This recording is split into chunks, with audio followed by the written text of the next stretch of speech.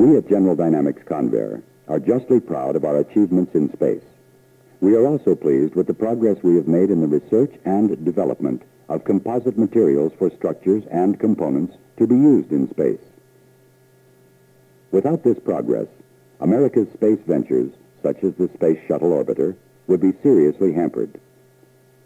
We believe that increased use of composite materials is the key to resolving many of the problems which arise from the use in space of such metals as aluminum. And to back up our belief, we can point to a number of successful projects pertaining to the use of composites which are making special contributions to America's space program. We are leaders in composites for spacecraft, including laser mirrors, an optical bench, shuttle remote manipulating system arm booms, the HEAO-B telescope, the GEMS space telescope, missile adapters,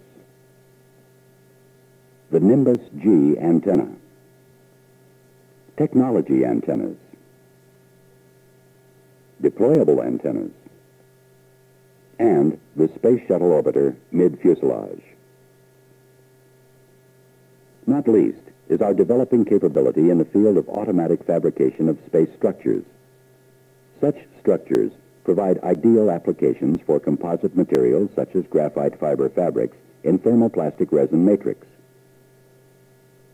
The characteristics of graphite thermoplastic include low density, up to 40% lower than aluminum, high stiffness, up to four times stiffer than aluminum, high strength, can be up to three times stronger than aluminum, low thermal expansion, as low as one one-thousandth that of aluminum, high fatigue strength, usually two times that of aluminum. It can be automatically pre-processed in long, continuous strips, including application of a special coating for resistance to radiation in space. In-orbit fabrication operations require little energy, only 29% of the available Space Shuttle orbiter power. The beam builder itself is light in weight, maximizing the amount of deliverable spacecraft materials and equipment. Beam members can be formed automatically and continuously using a proprietary roll-forming process. Beams are joined by ultrasonic welding heads, requiring no adhesives and leaving no debris in space. Composite materials lend themselves to high-density storage, such as the packaging of 3,000 feet or more of graphite thermoplastic rolls in storage canisters, enough for the construction of large structures in a single shuttle flight. The beam building machine has three separate cap forming units, each designed to produce a continuous cap from a thin roll of pre-consolidated graphite thermoplastic composite material. Strips are fed from the cap material storage canisters through the cap forming and drive section in strokes of one bay length.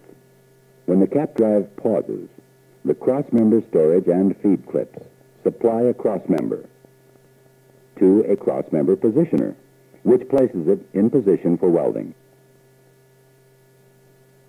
The cord storage spools supply cord to be strung diagonally across the bays by cord pliers, which shuttle from side to side.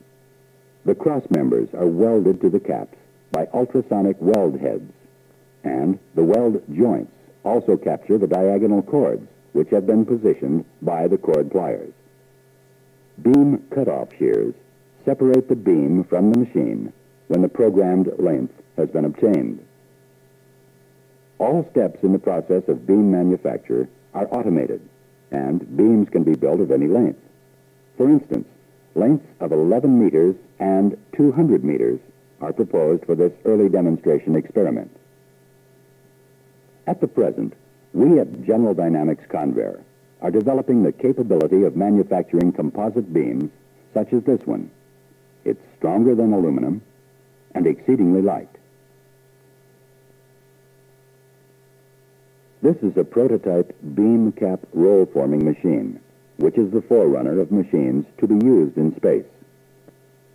The process is fully automated and includes the three stages of heating, forming, and cooling. A drive unit moves the strip stock through the machine. First, As the flat strip material enters the machine, it is heated to the plastic state along the three bend zones where the radii are to be formed. This strip heating is performed by electrical resistance heating elements and reflectors mounted in the heating section. Sensors monitor the material temperatures in the heated zones for feedback to temperature controllers, which modulate the heat rate of the heater elements.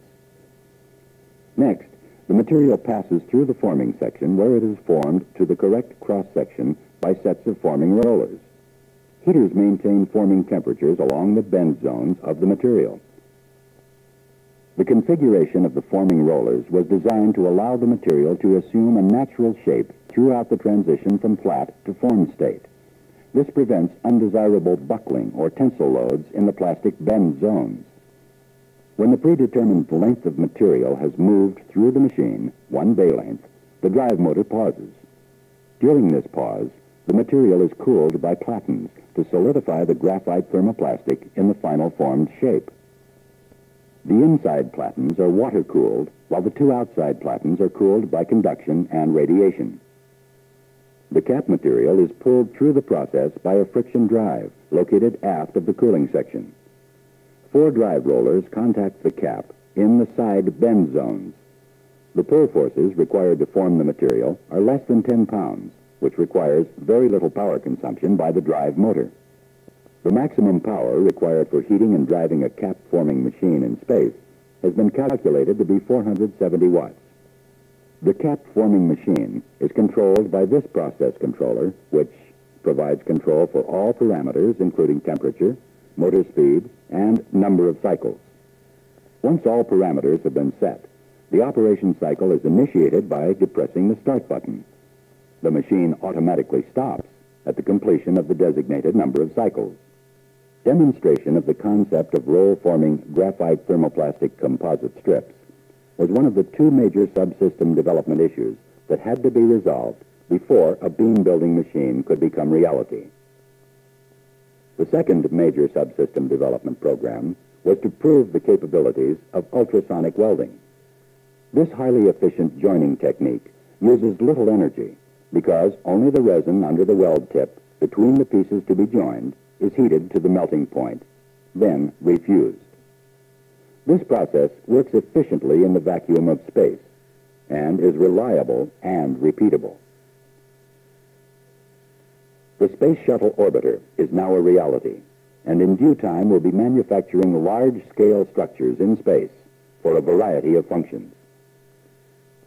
And we at General Dynamics Convair are helping to advance NASA's space construction development objectives for we have the manufacturing technology for automatic fabrication of composite structures now.